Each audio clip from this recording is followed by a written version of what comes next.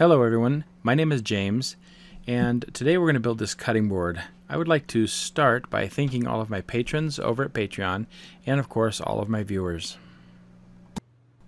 So this project is built from basically a bunch of scrap pieces of lumber, offcuts and uh, cabinet doors I had to take apart that were of no general use otherwise. Almost everybody has a stack of offcuts and boards in their shop that they can turn into a cutting board.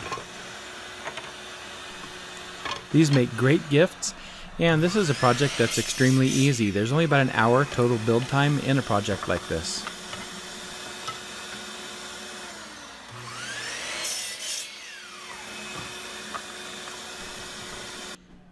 And here's what I came up with today, a stack of walnut offcuts. I've, I've probably got enough to make 10 more of these, but we're just going to build one today. After cross-cutting everything to length, I think I cut everything to about 21 or 22 inches. Uh, then I'm going to rip it down to a width that is basically as thin as my, uh, my thinnest piece, which I think was about an inch and a half wide. You might even be able to see here, some of these have a polyurethane finish already on them. They were from some kitchen cabinets I built. They came from the doors that I accidentally built the wrong size. I cut the doors apart and I saved these things. I figured, you know, one day I could use them.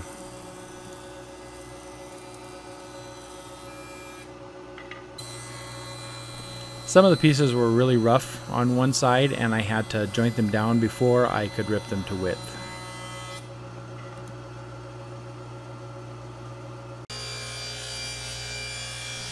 Instead of having the cutting board all one color, I decided to put some accent colors in it. This is maple here. If you decide to make a thin cut like this, uh, a bandsaw is a good choice. If you want to use a table saw, you can do that as long as you're comfortable with the cut. You're going to need something like this Microjig in order to make that happen though. Something that can safely grip a thin piece of wood on the other side of the blade. And this board is Wenge. I thought this would be a nice addition to the cutting board as well.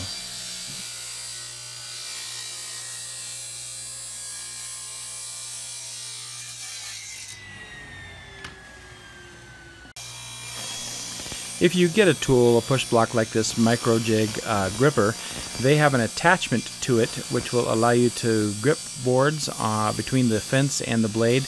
Uh, I think standard is a quarter inch and you can buy this little thin green attachment I have here on it which lets you go down to about an eighth of an inch. Microjig does not sponsor me, I just happen to like their tool, uh, but I will put a link in the description in case you're interested. And this is my second youngest daughter, Kavita. Uh, she's joining us in the shop today. This is actually going to be her cutting board, so she's going to lay out the boards for us in a, in a pleasing pattern.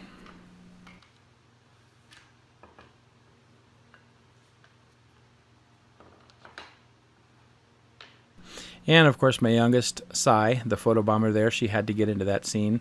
Looks like they're wearing the same shirt today as well. And my middle daughter there, Maya, on the left. Okay, so it looks like she's come up with a pretty good pattern here. Uh, we, we pre-planned a couple of different things, and this is what uh, she liked. Uh, it doesn't take much to accent a cutting board, just uh, a couple of stripes of something of a different color, and it really makes a big difference in the overall look of the board.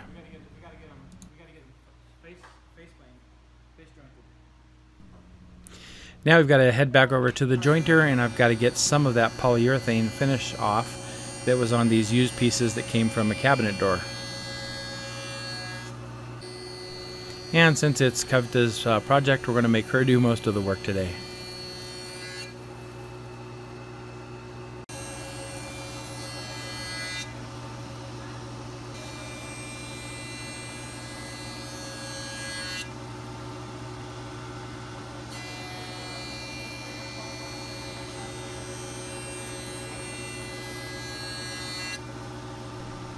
Once that's done, it's time for the glue up. And I guess if you use as much glue as we do, it takes three people to accomplish that.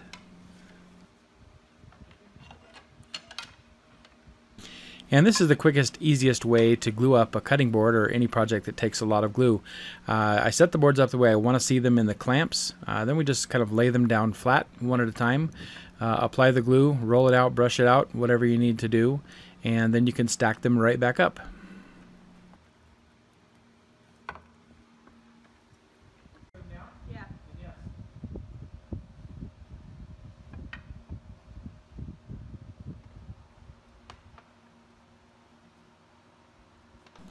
It's best to kind of keep them sort of straight here.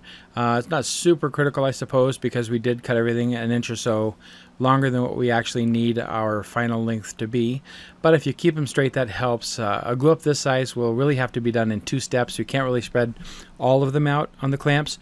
So we spread out half, glue them, put them back together. Then we'll slide that half back and spread out the other half, uh, glue it, and then we put the whole thing together and clamp it.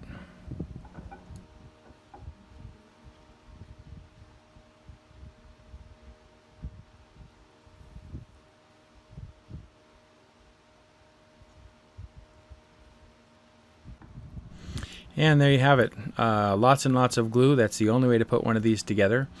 Um, I also wanted to mention that Titebond 3 is the very best glue that you can use for a cutting board. It has the highest bonding strength and it is the most waterproof of the Titebond glues. I know that Titebond 2 says that a cutting board is a recommended use, but since Titebond 3 is more waterproof, I always choose that. In fact, for all of my projects, I use Titebond 3. A lot of people ask me why I choose Titebond 3 over the other two, and there's three reasons actually. Uh, firstly, it has the highest viscosity, which means it runs a little bit less. It also has the longest open time, so I've got more time for glue ups, and it has the highest bond strength of the three. And you can see here, in addition to lots of glue, I like to use lots of clamps. Uh, it's very important to squeeze all of the excess glue out uh, when you're clamping these things together. That gives you the highest strength.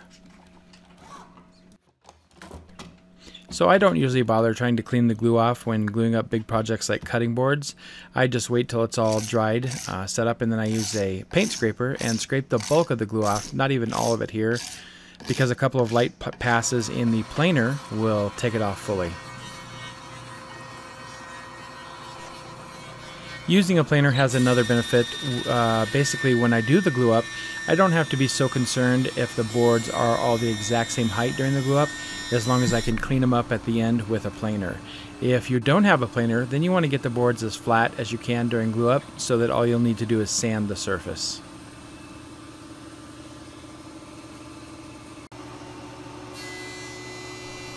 So a lot of clamps and a lot of clamping pressure sometimes puts a little bit of a dent on the edge of the wood, so I like to joint that off before I continue.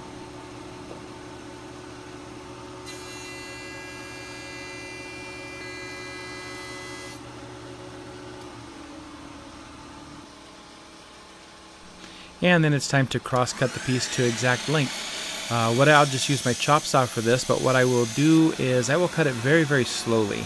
If it's cut very slowly, you can see that the cut is crisp and clean, uh, as long as you have a sharp blade, of course.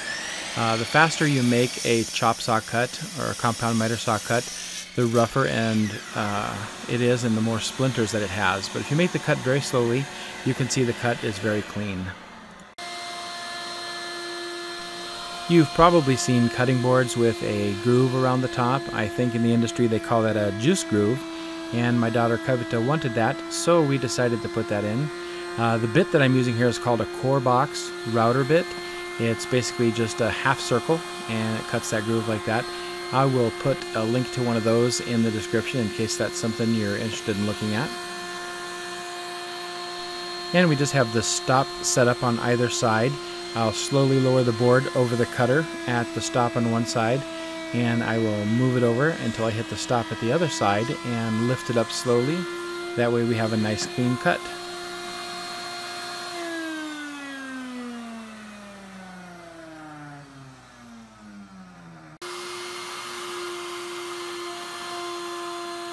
We also decided to put a 3 8 inch radius round over around the edge of the cutting board. Uh, this can also be done with a handheld router. It doesn't need to be on a router table. I just put it there because that's what's most convenient for me. Uh, and I think this adds a nice feature to the board.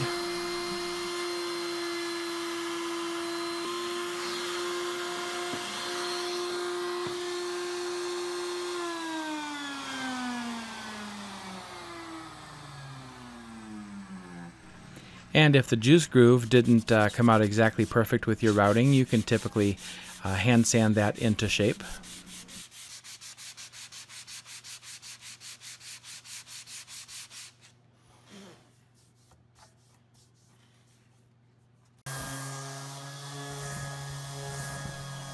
And then I'll just sand the whole outside surface of the board uh, all the way down to about 220 grit before I apply the oil finish.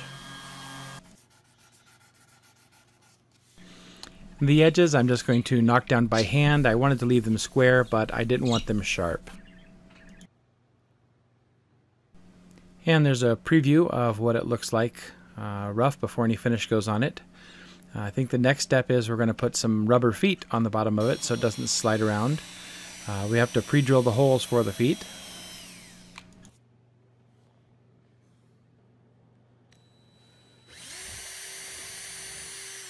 And you can get these feet at just about any hardware store or big box store. And I'll put a link to those in the description too. I think it cost about $2 for a pack of four. Uh, but one thing that is important is they just come with regular screws. They're called bumpers.